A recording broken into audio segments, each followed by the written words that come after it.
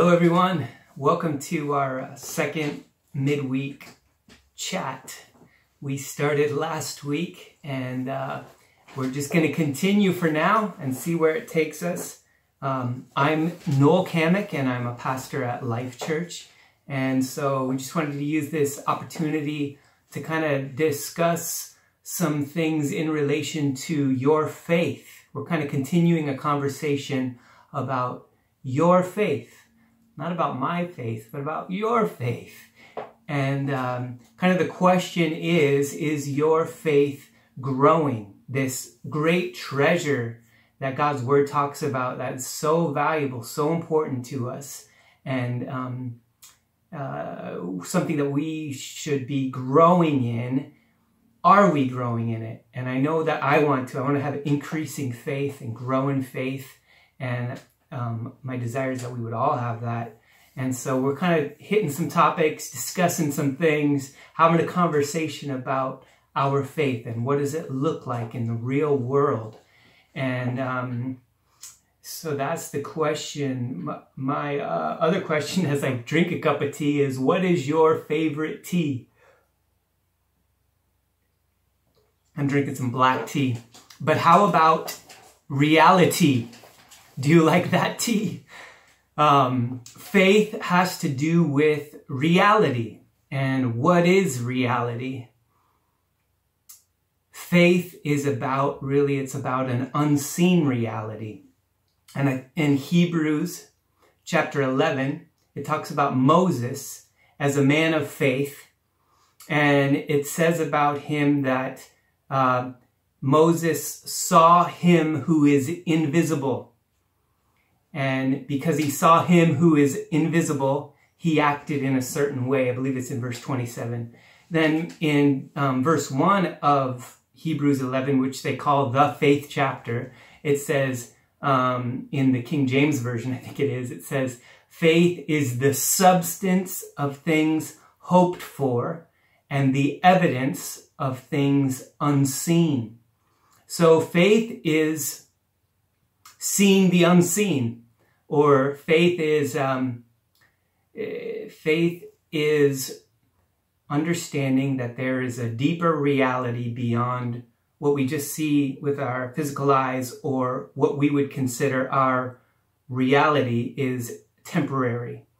And so, have you uh, learned by faith to take hold of a deeper reality? Because that's what you do when you're when you're um, getting hold of something by faith, you are taking hold of a, a deeper reality. And as I already said, that um, if you know how to fear, then you know how to have faith. Because fear is, like I, I turned it around, fear is the substance or the assurance of things that you dread and the evidence of things unseen. I know they, they, some people take a, a is it an, uh, I forget what you call it when you do it by the letters, but they say fear is false evidence appearing real. And so, um, but faith is taking hold of a reality that is deeper. And this is such a cool thing and such a very interesting thing. And you recognize, usually, you recognize your great need for it when you realize how shaky what we can see is, okay? So I wanted to uh, tell, tell you about a story that I heard or I read um, by, uh, there was an American who was in Hong Kong, a small, or the big city, I suppose, of Kowloon. And he was walking down these little streets um, in Hong Kong and he came upon a tattoo parlor.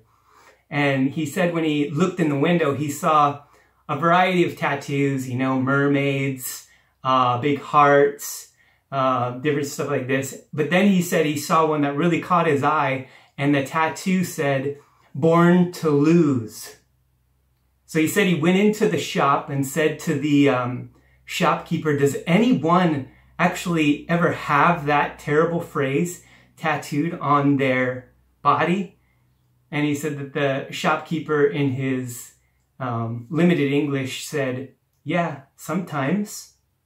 And then he says, How could anybody in their right mind get that tattoo um, on on them. And he said that Chinese man that uh, owned the shop said in his broken English, he said, "Before tattoo on body, tattoo on mind." And I think that's an interesting idea. That isn't it interesting how what we think can have a, a profound effect and and um, come into the the seen reality of our lives. And once our minds are tattooed with negative things, that really ends up can often end up sabotaging what our life is meant to be. And so, what is your tattooed on your mind? If you think about that, I have to think about that for myself. What are, what are the things that are tattooed on my mind that keep going and, and lock me up and affect how I live? Okay? Um, because what we truly believe truly has an effect on how we live. All right, so today the topic though is exercising joy, a wonderful word. Not the exercise part, but the joy part. Actually, they're both wonderful words. I know some of us have an aversion towards one of those words, especially, but exercising joy. And uh, I wanted to look at um, a few few things in my limited time. I hope I'm not going to go super long, but we'll see how I do. Uh, I wanted to look at a man in the midst of uh, societal collapse. There's a, a, story I want to tell about that man. And um, I want to look at an angel's message. I want to look at two guys in prison. And then I want to propose uh, to you that you exercise your joy because we're talking about faith. And so exercise joy. So a man who's in the midst of societal collapse, an angel's message, and two guys in prison. All right, so the first is the man in societal collapse, and I got my Bible. This is the story of um, Habakkuk, and you can find it in the Old Testament. He's one of the prophets, and his um, book only actually has three chapters in it, but it's a very interesting book because um, like us, we're kind of, we have a bit of a societal collapse, a global societal collapse somewhat. We'll see what the repercussions of that look like. But uh, Habakkuk was experiencing something similar, only at a much greater level in his experience and in his nation's experience. And there was the, the nation of Babylon was going to come. They were on their way to destroy um, Judah. And he has some interesting responses um, in the midst. And um, he was actually, the nation was at a starvation level societal collapse. And I'm going to look at a couple of the verses. But what I find interesting in uh, verse 18, Habakkuk says, Yet I will rejoice in the Lord. And then he says it a second time in a different way I will take joy in the God of my salvation. Okay? Uh, so this is what he does, and he rejoices. But rejoicing doesn't mean that you won't be experiencing sorrow and grief. Sometimes we think it's an either or. You either are glad and rejoicing, or you are sorrowful and grieving. But what I'm going to try and um, show us is that actually that in the midst of sorrow and grief, we can actually rejoice, which is an interesting thing to be able to do. And that's why I call it exercising joy.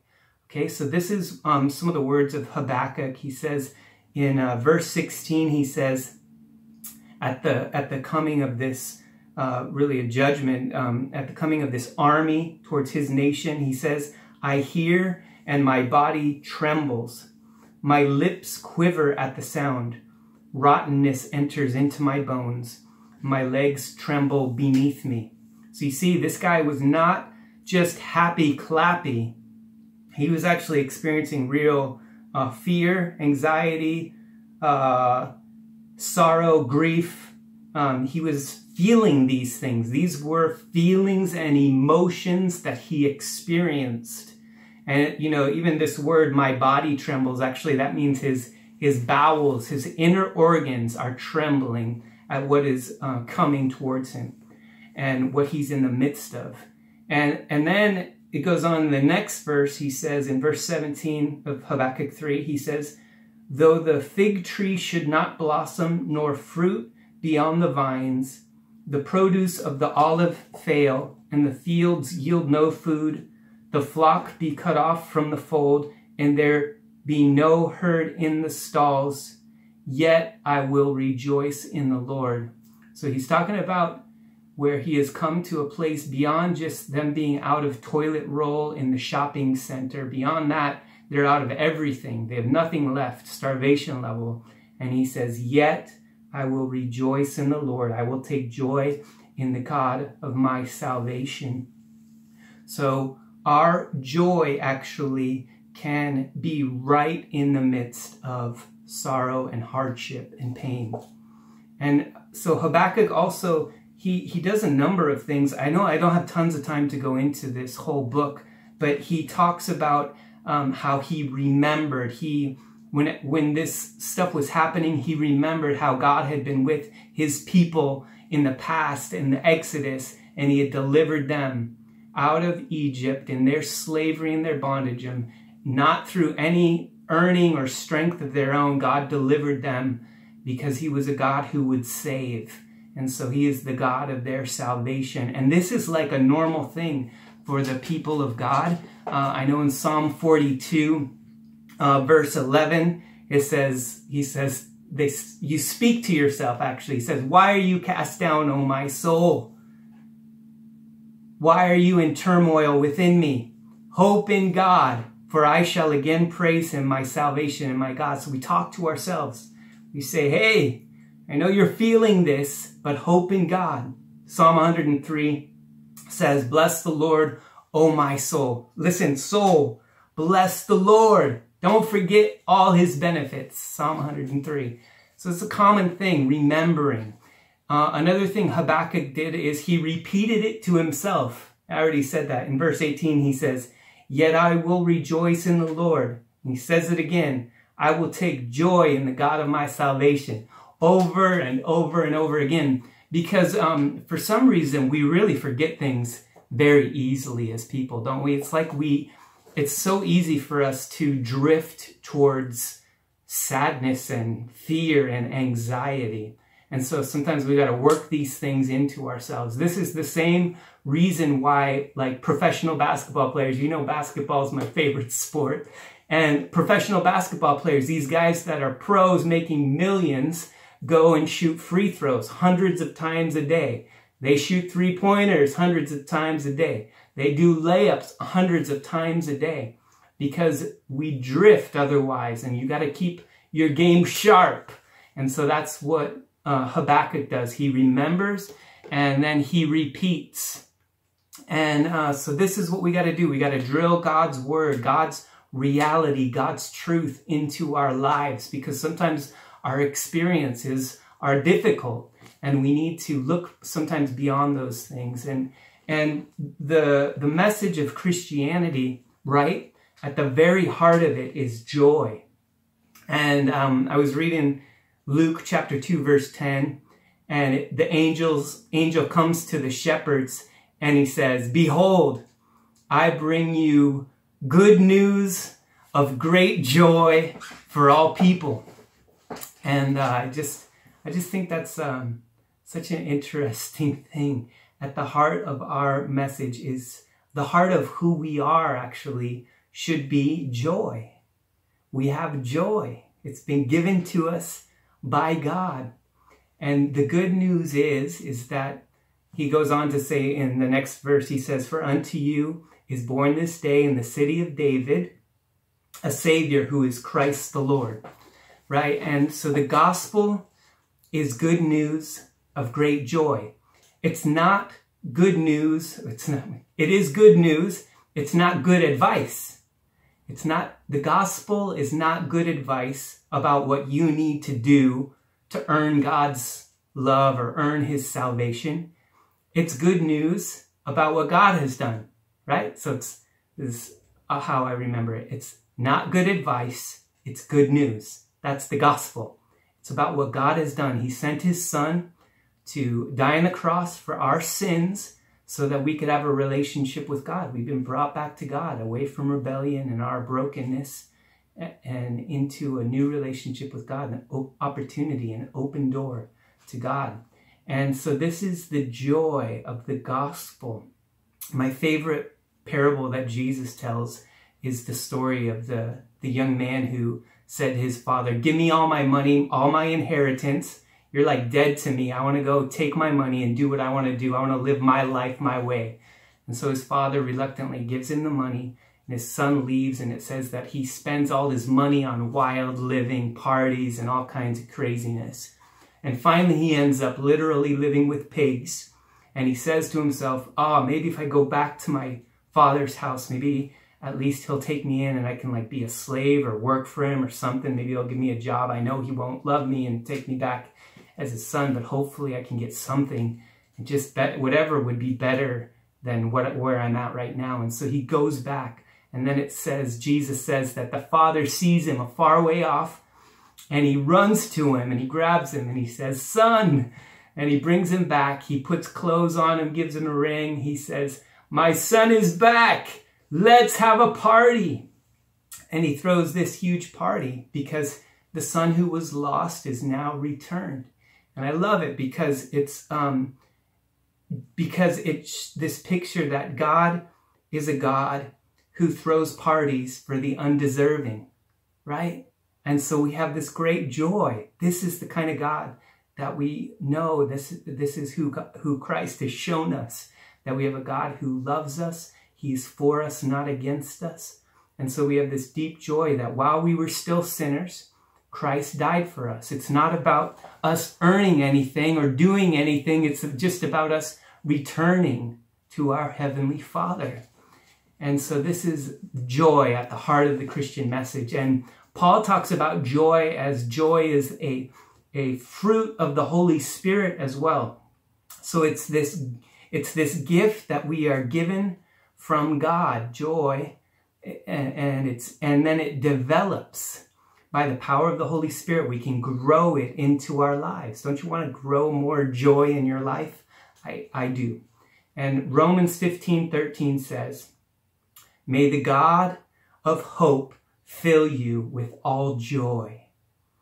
And, and so, joy is a gift that we can receive from God. It's something that God can give to us.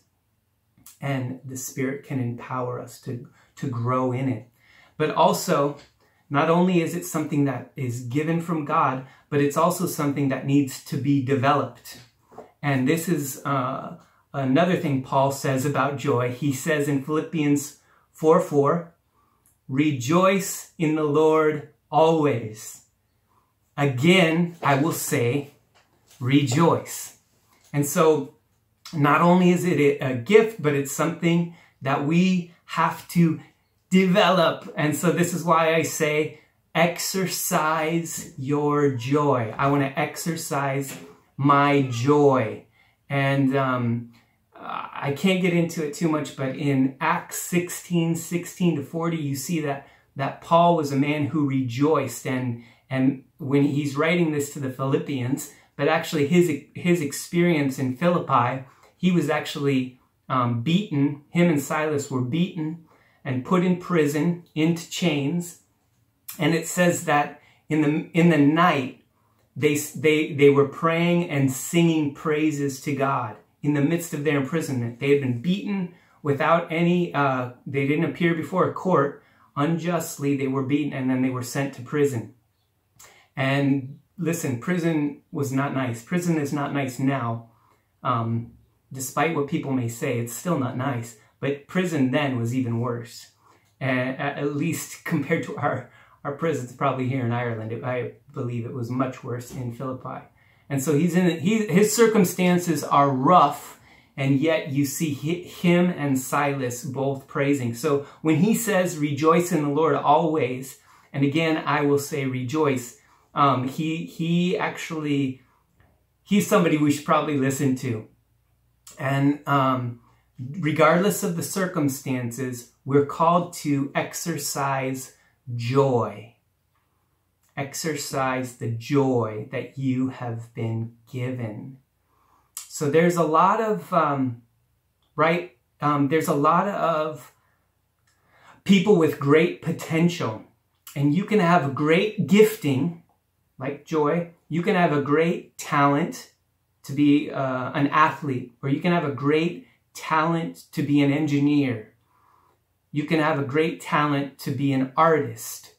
But if you don't exercise that gift, you'll never reach the potential that you were meant to reach. And it's the same with joy.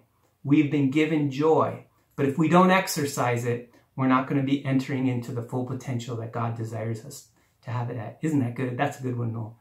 So let's exercise our joy. I love this story I read uh, about uh, a president, our six, the 16th president in America, President Lincoln. I'm read it to you. He said, an advisor to President Lincoln suggested a certain candidate uh, for, for the Lincoln uh, cabinet, so the people that would work with him. But Lincoln refused this candidate, saying, I don't like the look of his face. But, sir, the advisor said, a man can't help the look of his face. And Lincoln replied, Every man over 40 has a responsibility for the look of his face. I love that. Every man over 40 is responsible for his face, replied Lincoln, and the subject was dropped. So, no matter what you think about your attitude, it shows on your face. So, how's your joy? How's your joy doing? How's my joy doing? Um, another quote that I love, I don't actually know who said it, but they somebody said, it wasn't Noel, the test of any great philosophy is where does it leave you when you appear to have lost everything? The test of any great philosophy is where does it leave you when you appear to have lost everything? Thank God we have God. Uh, I just want to read one last little um, quote that I found in a book by John Maxwell. The book's called Developing the Leader Within You. He writes, I am impressed with the philosophy of the following statement God chooses what we go through, and we choose how we go through it. And John Maxwell goes on to say it describes Viktor Frankl's attitude as he was terribly mistreated in a Nazi concentration camp. His words to his persecutors have been an inspiration to millions of people. He said, The one thing you cannot take away from me is the way I choose to respond to what you do to me. The last of one's freedoms is to choose one's attitude in any given circumstance choose. And so, as we begin with the story of the tattoo that said born to lose, I, I, would say we have not been born to lose, but we have been born to choose. And my encouragement to you is to choose joy. Uh, choose joy in this season. Uh, let's be great, grateful to God in this season. Let's Let's exercise our faith in gratitude, in, in praise to God. Um, and, you know, let's ask, Holy Spirit, would you give me the power to develop what you have given me, this joy? Allow me to develop that in my life by faith. Regardless of my circumstances, I want that inner strength to exercise joy. I want to develop that. And then let's be faithful and let's begin to just exercise this. I hope I hope this will be an encouragement to you um, to choose joy in whatever circumstances your life is bringing you in this season or maybe in, in, in the coming days. And so I pray God bless you